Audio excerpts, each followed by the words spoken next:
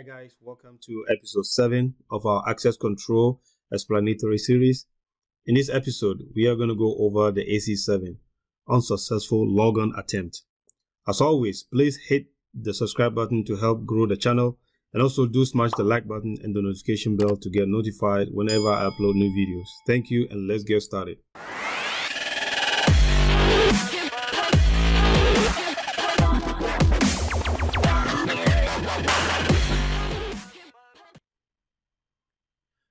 Unsuccessful logon attempt. This is a principle of access control that checks for invalid credentials, password expiration, enabling the wrong authentication mode, and checking malicious actors wanting to gain access to our systems. For the malicious actor, this basically means that they keep trying to get the system's password until they get it right. Most of the times, hackers use script for this so therefore, limiting logon attempts allow us to track and limit the number of failed logon attempts on our systems. This is an example of what you see typically when this control is functioning. C says your account has been locked due to three unsuccessful login attempts. Please contact your administrator. So when you exceed the number of allowed, you know, uh, credentials, that's both password and username, you know, uh, entries, you get a locked account that you can wait, you know, for a set uh, amount of time or set period of time, or you contact your uh, administrator for them to reset or unlock your account for you.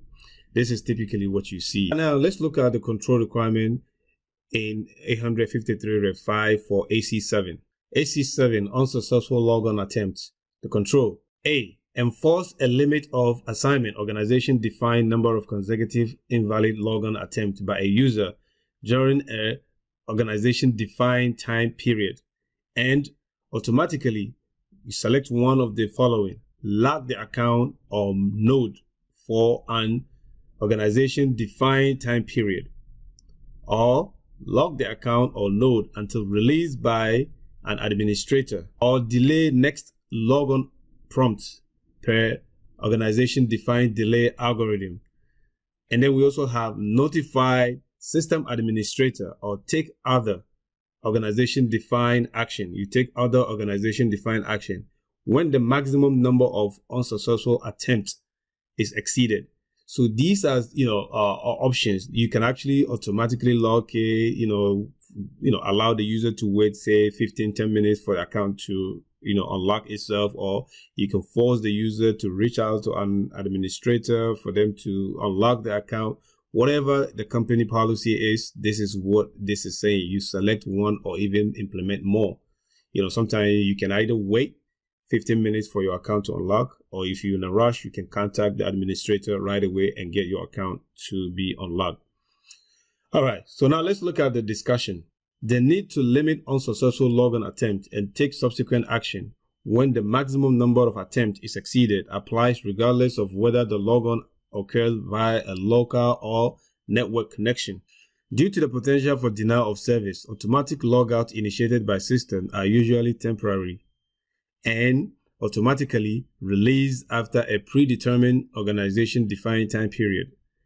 If a delay algorithm is selected, Organizations may employ different algorithms for different components of the system based on the capabilities of those components.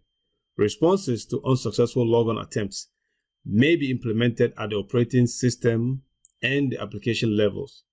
Organization define action that may be taken when the number of allowed consecutive invalid logon attempts is exceeded include prompting the user to answer a secret question in addition to the username and password invoking a lockdown mode with limited user capabilities instead of full lockout, allowing users to only log on from a specified IP addresses, requiring a captcha to prevent automated attacks, or applying user profiles such as location, time of the day, IP address, device, or MAC address if automatic system lockout or execution of delay algorithm is not implemented in support of the availability objectives, organizations consider a combination of other actions to help prevent brute force attacks. In addition to the above, Organizations can prompt users to respond to a secret question before the number of allowed unsuccessful logon attempts is exceeded.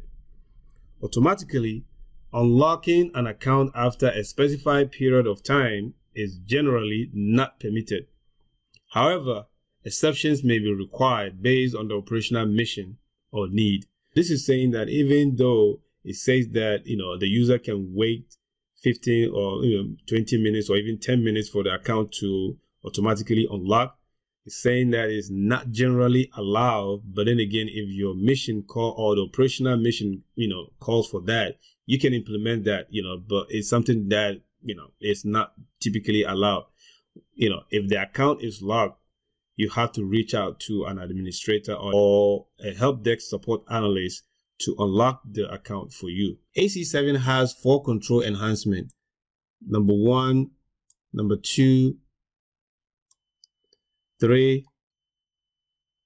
and four. All right, now, so let's look at the control requirements simplification.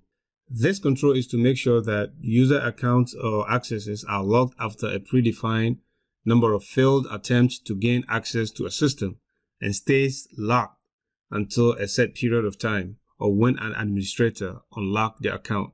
What are some of the benefits of unsuccessful login attempts? These unsuccessful login attempts policy settings help prevent attackers from guessing the user's passwords by using try and error method, that is the brute force attack.